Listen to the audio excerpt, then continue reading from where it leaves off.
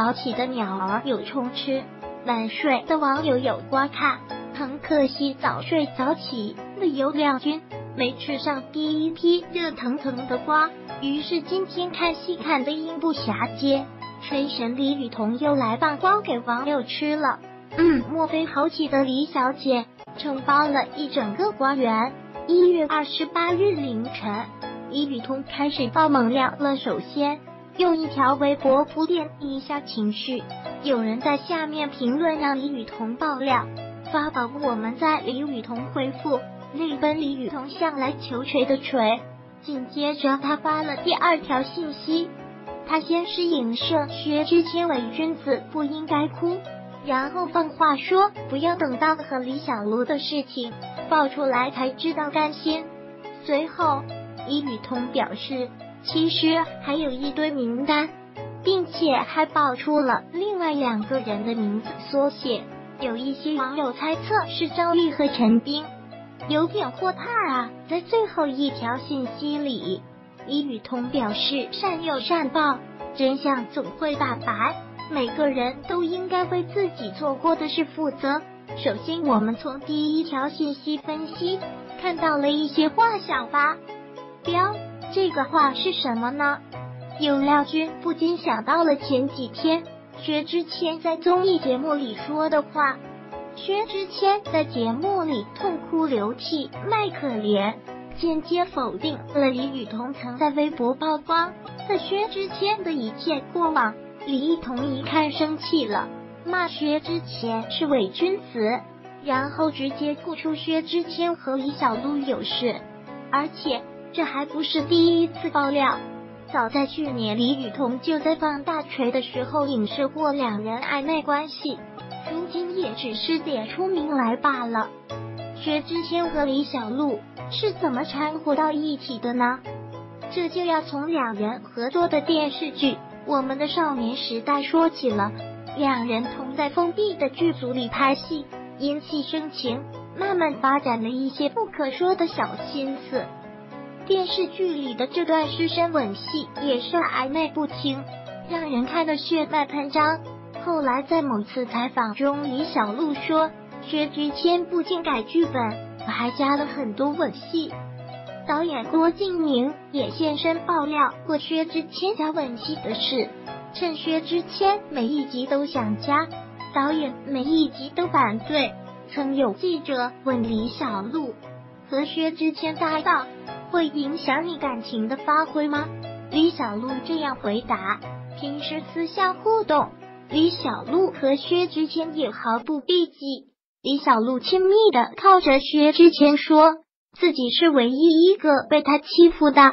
李小璐还冲薛之谦撒娇，薛之谦回应他说特别好吃，竟然还亲手喂薛之谦吃东西。李小璐同学，你要知道，你当时结婚已经四年，女儿都四岁了。综上所述，右廖军也开始摇摆不定，人在家中坐，瓜从网上来。真真假假，孰是孰非，我们也不得而知，还是要留待后续发展。不过李雨桐爆出的可不止李小璐一个，那么另外两位字母女士又是怎么回事呢？有网友猜测这两个人是张丽和陈冰，并且扒出了各种证据。首先是张丽小姐姐，张丽曾去听过薛之谦的演唱会。也曾友情出演过薛之谦的 MV，上了热搜的张丽立马被爆出来新恋情，侦探网友们纷纷表示有阴谋。至于第二位被推论的字母小姐陈冰，她是中国好声音的选手，在微博上有推广薛之谦的歌，去过薛之谦开的火锅店吃饭，两人还一起合作过歌曲，还用薛之谦标准。的省略体发文，言语暧昧，你的词我的曲。下面网友评论，陈斌做出回复，李雨桐爆猛料，大家对陈斌议论纷纷时，他用微博反击，也发了一段缩写字母。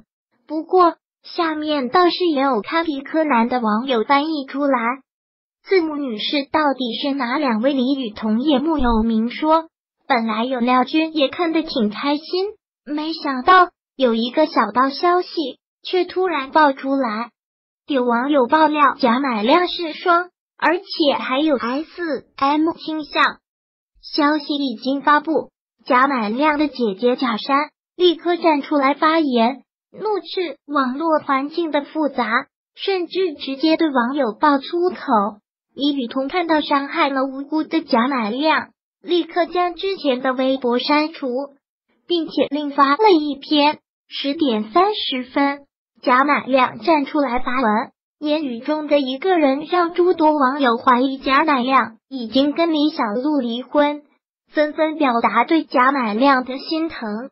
说到贾乃亮，就不得不谈一谈李小璐曾经对贾乃亮的伤害。一七年十二月三十一号。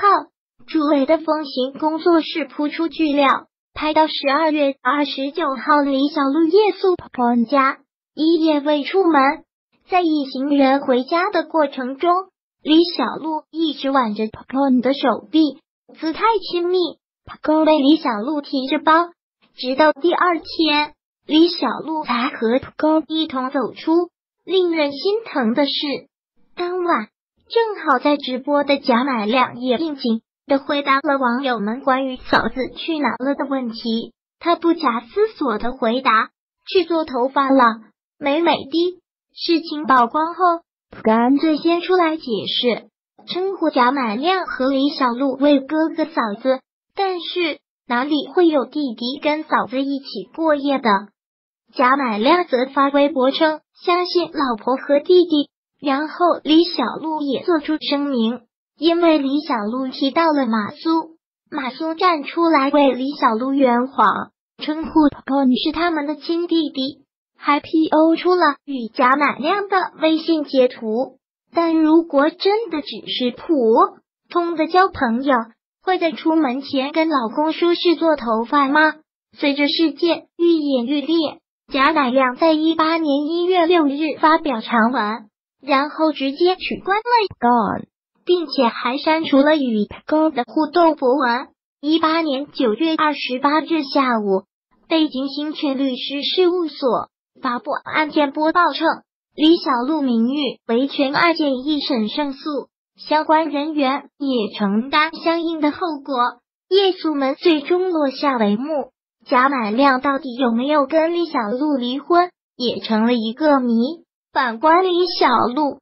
被网络暴力后，她开始在家带孩子，低调的做一些公益。李小璐和贾乃亮有一个夫妻公益品牌“点亮西路”，在李小璐的微博里，大家也是经常能看见她转发的各种呼吁大家保护儿童，特别是保护更容易受伤害的女童的微博。看来李小璐打算走慈母公益人设来洗白。毕竟她自己也是一个妈妈。